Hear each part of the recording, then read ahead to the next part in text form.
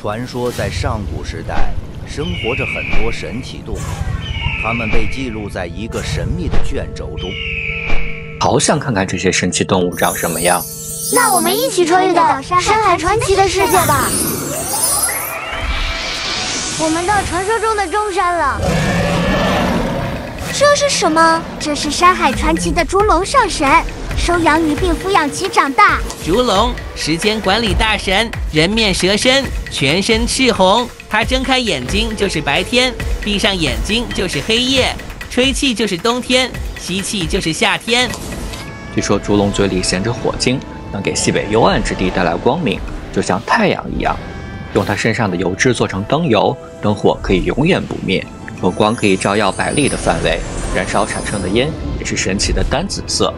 在古代还有祭祀烛龙、祈求风调雨顺、丰收的习俗。而且古代记载中，烛龙拥有的能力和盘古一样，所以有人认为它也是创世之神。太神奇了！咱们快去找找其他神奇动物吧。这是什么地方？都是沼泽，是香柳生活的地方。它是水神共工的臣子，帮共工做尽了坏事。香柳毒系 BOSS，九头蛇身，所到之处都会化成沼泽，水会变得辛辣苦涩，动物没有办法生活。当年他阻碍禹治水，被禹杀死后，他的血仍有剧毒，流经的地方寸草不生，没办法种植粮食。禹多次用土填埋杀死相柳的地方，但是都塌陷了。后来禹建了种地之台，依靠各路天神的力量，才压制住了相柳。当年禹治水遇到重重阻碍，有没有神奇动物帮他呢？这个龙居然长了翅膀呀！应龙，上古战神，龙修炼五百年，进化为角龙，再修炼一千年，进化为应龙。应龙作为皇帝的大将。当年在与皇帝与蚩尤的大战中，杀死了蚩尤和夸父族巨人，一举封为战神。在禹治水时，应龙作为开路先锋，引导禹，并用尾巴开通河道。在后世，人们也会向应龙来祈求丰收。难怪在后代壁画等纹样中，经常出现应龙的身影，原来是祥瑞的化身。还有一个神奇动物，跟应龙一起帮禹治水。玄龟，鸟头蛇尾。叫声像劈木头，佩戴它的龟壳就不会耳聋。山海传奇中，帮夸父族巨人搬家追太阳的东海巨龟，原型就是玄龟。禹治水时，玄龟驮着息壤，欲把息壤投向大地，息壤便会迅速生长，把洪水填平。太好闻了，咱们再到西边看看。这就是传说中的刑天了吧？当年他与天帝争夺神位，被天帝砍掉脑袋。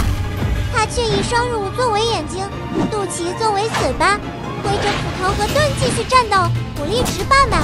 在他成为刑天之前，他其实是炎帝神农氏手下的音乐大神。炎帝曾经让他写了扶犁和丰年的乐曲，用来庆祝农耕和丰收。真是一位文武双全的大神。这是什么？好恐怖！桃物，人面虎身，猪嘴獠牙，因为傲慢狠戾、桀骜不驯的性格。和混沌、穷奇、饕餮一起出道，成为上古四凶组合。据说他是天帝颛顼的儿子，但是却胡作非为，可以说是上古巨婴。后来被世人流放到了西方边境，因为长得太过凶狠，连妖魔鬼怪都怕他。